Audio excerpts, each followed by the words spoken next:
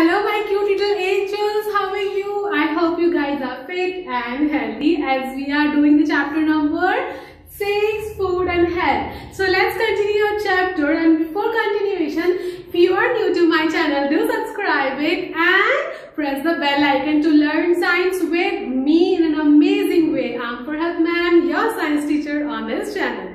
So, let's start. Communicable diseases अभी previous video में मैंने क्लियर करा था डिज़ीज़ क्या होती है और कितने टाइप की होती है। कम्युनिकेबल एंड नॉन कम्युनिकेबल समझाया था ना? अब बात करते हैं कम्युनिकेबल डिजीजेस स्प्रेड किससे होती है? बता तो दिया ही था कि वो माइक्रो ऑर्गेनिज्म जर्म्स की वजह से होती है one person to another person clear है? लेकिन आपको पता है, तीन टाइप के माइक्रोब्स होते हैं जिनकी वजह से आपको इतनी सकती है। सबसे पहले बात करते हैं बैक्टीरिया। जैसे कि मैंने माइक्रोब्स वर्ड यहाँ पर लिखा है इट मीन्स वो जर्म्स जो आपको नॉर्मल आइज़ से नहीं दिखते। क्लियर वो जर्म्स आपको कैसे दिखेंगे? माइक्रोस्कोप की हेल्प से।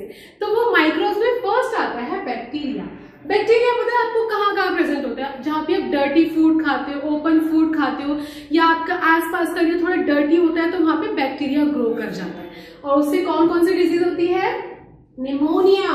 निमोनिया छोटे बच्चों को जो बहुत ज़्यादा फीवर और कोल्ड हो जाता है, आपके फ्रेंड्स को होता होगा।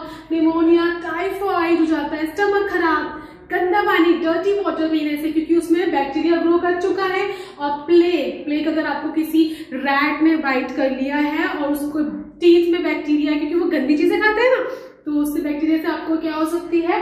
बैक्टीरिया आपको इन्फेक्शन हो सकते हैं बैक्टीरिया वाली डिज़ीज़ हो सकती है। क्लियर नेक्स्ट है आपका वायरस वायरस सबसे कॉमन है। वायरस अभी भी इन्वायरमेंट में घूम रहा है।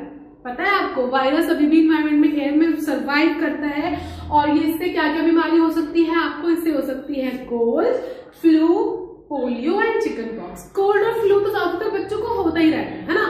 वो क्यों होता है? क्योंकि इन्वायरमेंट में इतने सारे वायरस हैं, लेकिन वो क्या कर रहे हैं? बच्चे अपनी प्रोटेक्शन नहीं कर रहे ना अब प्रोटेक्शन के बारे में नेक्स्ट वीडियो में समझाऊँगी कैसे क्या करना है?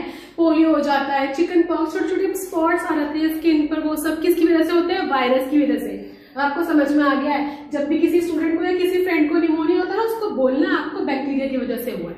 And that is communicable disease और अगर कोल्ड फ्लू है, वो किसकी वजह से हुआ है? वायरस की वजह से। भरत मैम ने बताया था वीडियो में। और प्रोटोजोआ प्रोटोजोआ भी वही है नॉर्मल लाइट से नहीं दिखता।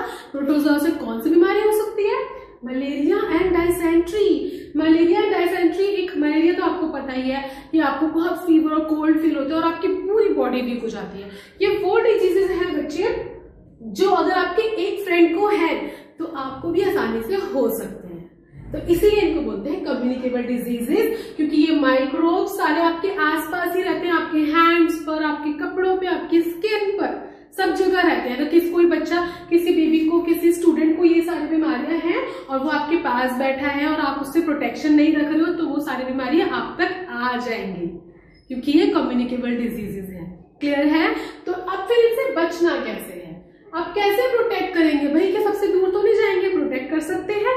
उसके लिए मैंने नेक्स्ट वीडियो बनाई है, ठीक है? So for that you just need to take the screenshot और just pause the video and write down all the main points and the next video ke liye you have to do only one thing that is just like this video and subscribe my channel and don't forget to press the bell icon क्योंकि उसी से आपको notifications मिलेगी मेरी next important video के लिए how to protect yourself okay till then take care